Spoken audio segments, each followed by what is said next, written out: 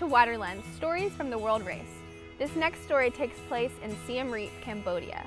So members of N Squad were given the exciting opportunity to church plant in Siem Reap in partnership with local pastor and computer teacher named Philip.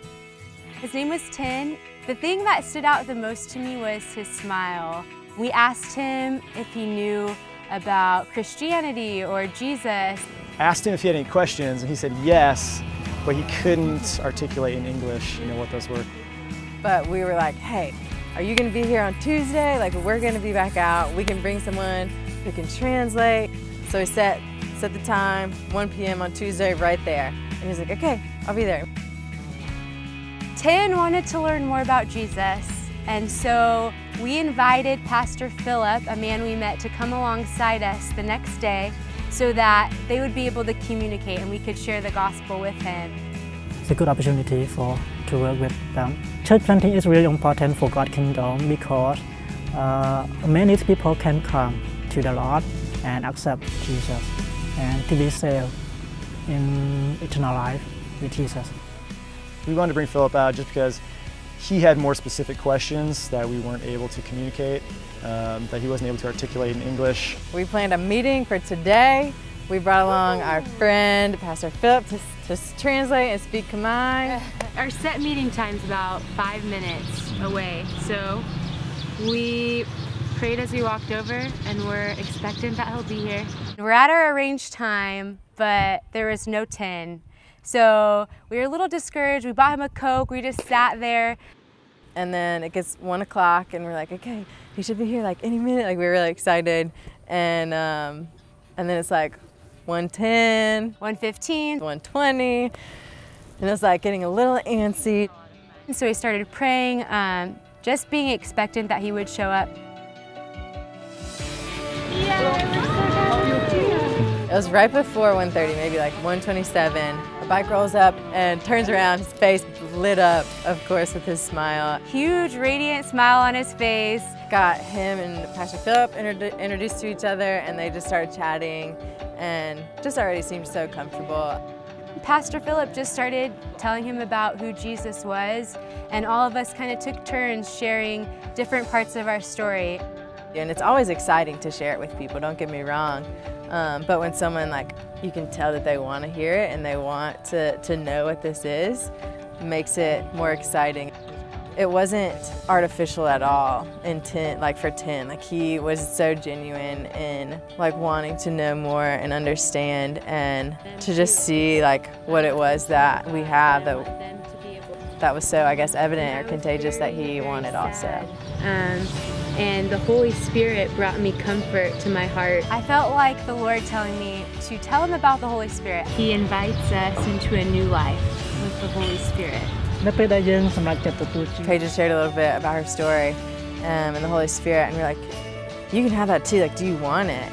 And he said, yes, very excited, very much. All we have to do is pray and ask God, and His Holy Spirit comes and lives within us. And he was like, yeah, yeah, like very, very excitedly and enthusiastically. And Pastor Philip like looked at us and he was like, he said yes, yes. And so we are all just like, yes, um, which was, uh, it was just really beautiful because there's always that chance that the person will say no, even after being so engaged and interested.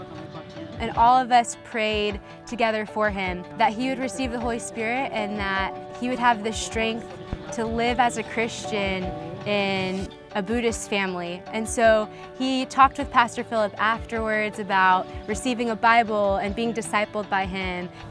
I pray for him to be growing with God. And I also hope that God has planned for him and his family. His face, his smile was so much brighter after accepting the Lord and it was just like really cool to see the change of like how bright it was before and then how much brighter it was after because of what's inside of him. See you later. See you later, yes. Good luck for you. Yes, you too. And he is also happy when he decided to believe Jesus because he also know that God is control him and he also know that the Lord is be with him all the time. Jeff had not been feeling well, which we really were sad about because he had really um, just kind of cultivated this this friendship. And so when we came back, we were like, I hope he's awake. We want to tell. Like we were so excited. And we go up, and he's sitting out on the balcony. And so we like kind of creep up behind him, and wait till he like knows we're there, turns around, and we're like, Let's go, baby. Let's go, baby! Last time. How you doing, Jesse? How are you? Much better. Yeah, we declared that earlier today. We did. We have exciting news for you. Yeah. The most exciting bring news. the whole town to Christ. He brought.